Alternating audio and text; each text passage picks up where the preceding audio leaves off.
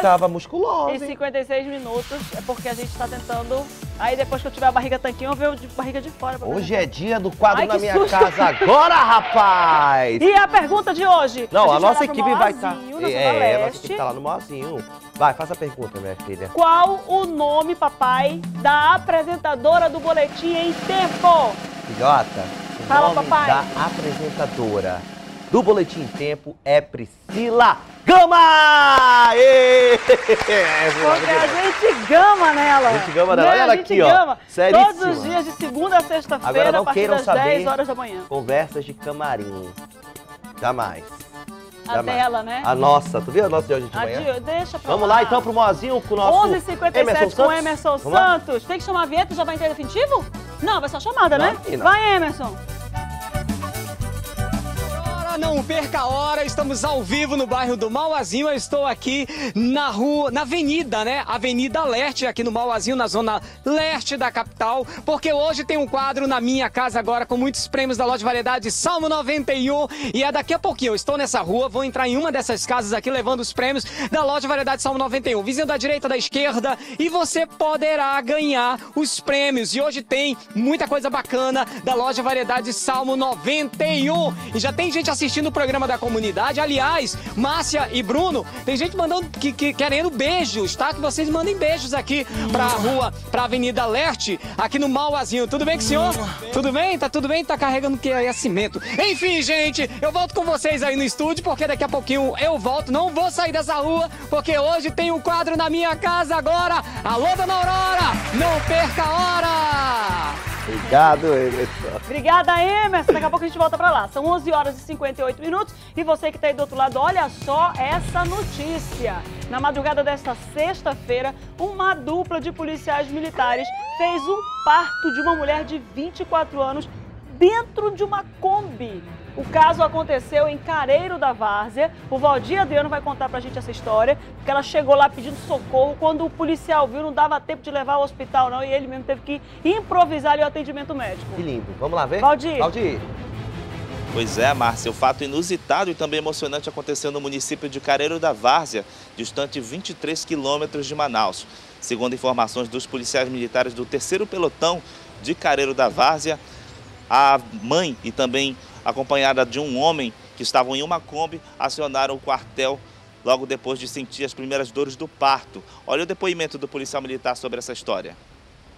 Olá, eu sou o cabo PM Israel Amorim e junto com meu colega também o cabo Rangel Santos auxiliamos num parto aqui no município de Careiro da Várzea. A senhora chegou por volta de 11 horas da noite, ela eh, já entrou em trabalho de parto imediatamente.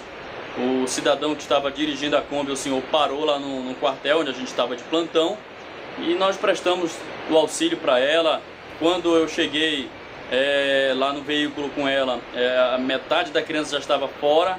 Eu retirei a criança, fizemos os procedimentos, limpamos ela direitinho, é, ajeitei a mãe para que nascesse a placenta dela também, né? Aí cortamos o cordão umbilical. Graças a Deus tudo bem, a criança nasceu bastante saudável. É, a mãe também passa bem e foi realmente uma emoção muito grande, muito grande mesmo, a gente participar da vida desse ser humano que graças a Deus está bem e realmente foi muito, muito emocionante mesmo, tanto para mim quanto para o meu colega que passamos pela primeira vez por uma situação como essa. A mulher identificada como Cristiane Alves Lourenço, de 24 anos, é a mãe do quinto filho e, segundo informações dos policiais e também de parentes dela, a criança nasceu sem qualquer complicação, saudável e também a mãe não corre aí qualquer risco de saúde por conta desse parto inusitado em Careiro da Várzea. Eu volto com você no estúdio. Obrigada, Valdir. Show! Que policial, além de fazer a nossa segurança, faz o parto também. Já tirou a 12 horas em ponto, tirou a gandola, colocou lá no Reverenciando na aí, ó. Macho, esse menino é macho, viu, meu Deus? O menino pequeno, né?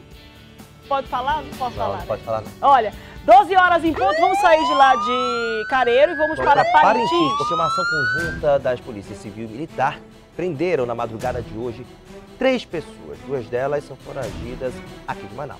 E eles são suspeitas, as duas pessoas são suspeitas de envolvimento nos dois homicídios em uma casa de show no início da semana. Lembra que teve um tiroteio lá, muitos, dois morreram e outros ficaram feridos? E o Tadeu de Souza traz essa prestação pra gente aqui na tela. Tadeu. Alô, Márcia. Alô, Bruno. A polícia começa a esclarecer os dois homicídios que marcaram o início desta semana aqui em Parintins.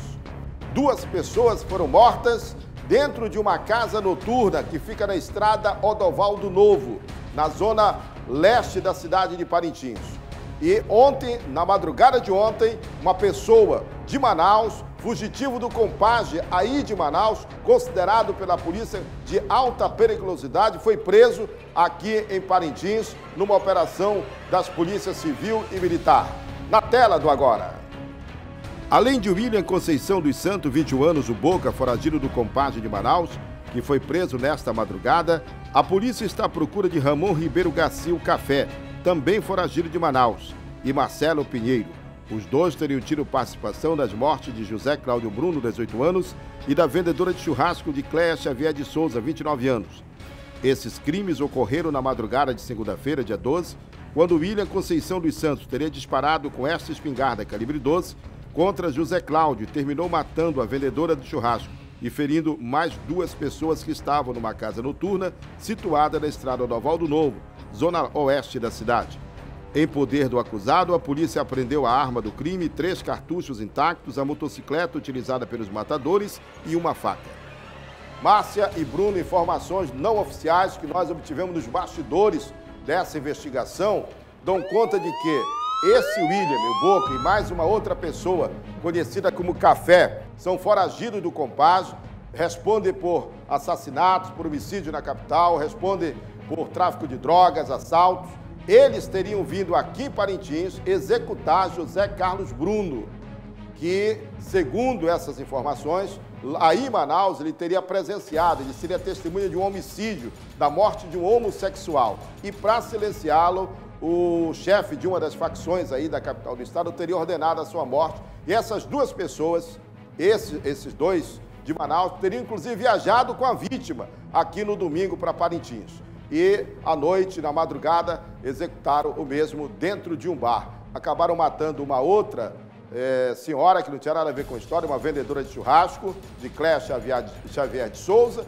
Feriram mais duas pessoas. As duas pessoas que foram feridas já receberam alta, já estão em casa, graças a Deus, passando bem. Bom final de semana a todos, do estúdio da TV em Tempo em Parintins. Tadeu de Souza para o programa agora. Muito Obrigado, obrigada, Tadeu, que na Tadeu. segunda-feira volta com mais destaques do programa lá do Agora Parintins, que logo depois que acaba aqui Logo, começa lá, né? leg- Logo depois que acaba o nosso programa da comunidade, começa o Agora Parintins. O pessoal de Parintins fica ligado. Agora a gente sai de Parintins e vai lá para a terra de Juscelio Paiva. Vai lá para É, Envira. Lá pra, pra terra do menino de Envira. Olha, foram presos por tráfico de drogas no município de Envira. Três pessoas, né? E quem traz os detalhes pra gente é o repórter Valdir Adriano. Valdir, foram três pessoas, né?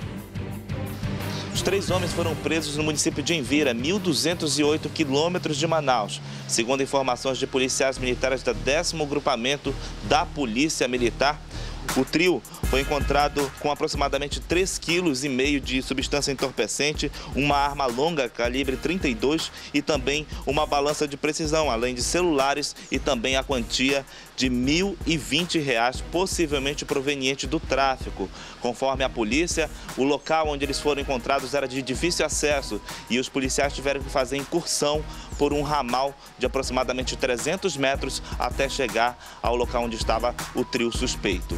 Eu volto com você ao estúdio. Obrigado, Valdir. Olha, Juscelio sempre fala pra gente aqui que Envira é terra de gente do bem. É terra de gente que trabalha, que trabalha, que se esforça todo dia. Não é terra pra vagabundo, não. Aí foram presos, droga já era. Tchau pra vocês. E infelizmente o tráfico de drogas, né?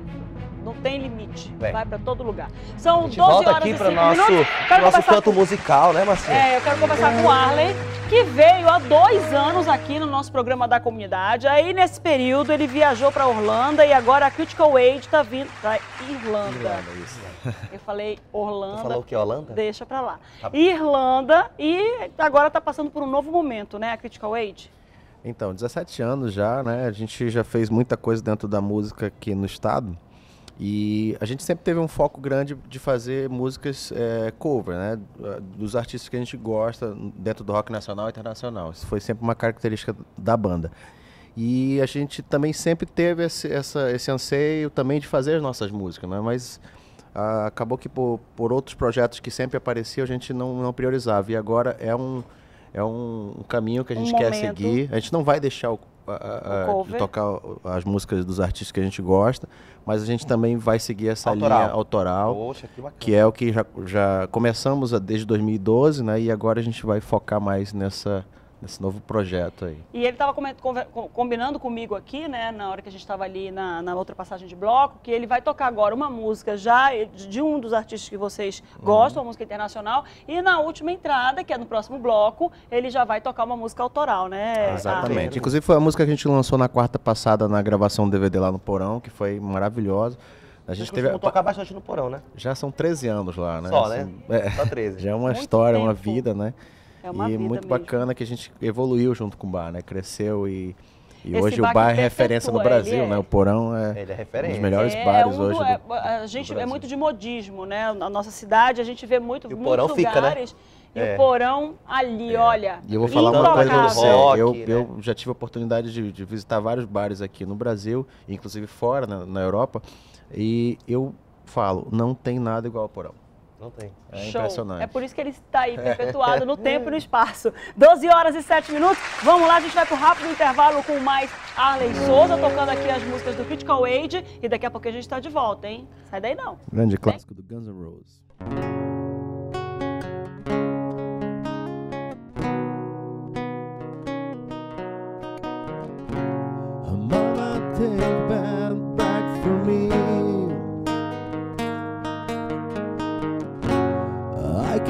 Can't them anymore. It's getting dark, too dark to see. It feels like I'm knocking on heaven's door. I'm not, not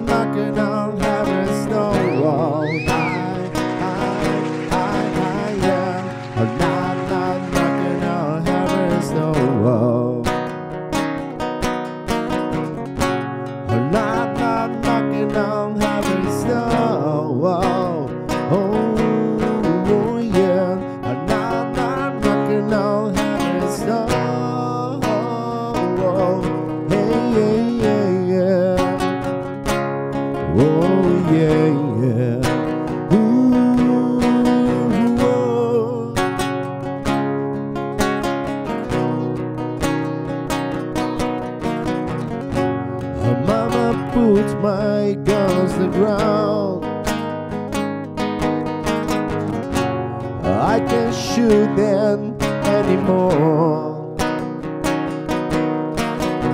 Uh, That cold black cloud that's coming down. It feels like I'm knocking on heaven's door. I, I, I, I, yeah. I'm not, knocking on heaven's door.